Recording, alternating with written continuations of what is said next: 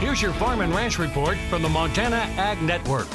And good afternoon, everybody. It's time for your Farm and Ranch news. Well, the NCBA, along with the Public Lands Council, the American Farm Bureau Federation, and even the Society for Range Management have introduced their support for a proposal that would reduce wild horse and burro populations on our western rangelands. Now, they say the proposal focuses on the congressional appropriations process and doesn't recommend any amendments to the Wild and Free Roaming Horses and Burros Act. The proposal if fully implemented, would increase the BLM's capacity to gather horses and burros in those overpopulated areas, administer population growth suppressant to healthy animals at gather, and increase use of long-term pasture-based holding for the older animals.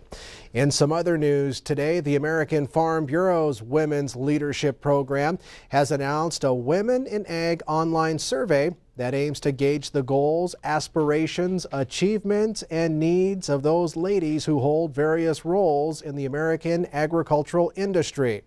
They say all women who are farmers and ranchers, farm and ranch employees, employed in agricultural businesses, pursuing ag related higher education, or supportive of agriculture in other ways are invited to participate in the survey at fb.org slash women.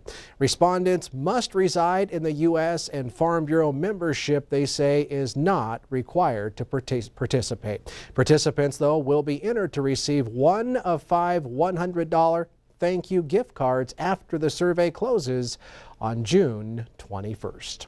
And the ongoing U.S. and European Union trade dispute has escalated, putting exports of lentils and chickpeas into a major market at risk. The news comes in response to the U.S. and EU Airbus Boeing dispute, covering approximately $11 billion in U.S. imports to the EU.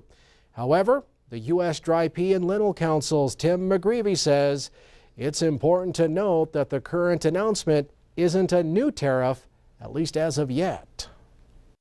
So, you know, we have to reach out uh, to our administration, our elected officials, and say, look at this is really hurting us. If, if this comes if this comes into play, uh, these uh, tariffs come into play uh, in our, you know, one of our largest markets uh, into the European Union, it could really have uh, serious effects on on pulse farmers in the United States.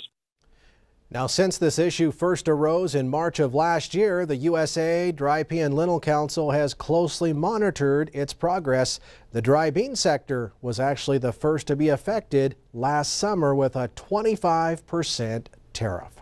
Stay with us. We'll have more ag news right after this. Well, a prestigious award that celebrates voluntary conservation by ag producers and other landowners is coming to Montana.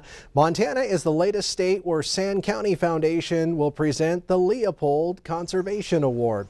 Governor Steve Bullock's office, the Department of Agriculture, and the Montana Department of Natural Resources and Conservation's Rangeland Resources Committee will join the Sand County Foundation in presenting a $10,000 award later this year. Applications for the award are now being accepted. The application may be submitted uh, by the landowner himself or somebody else, and you can find all the information online. That does it from the Ag Desk. Have a great day.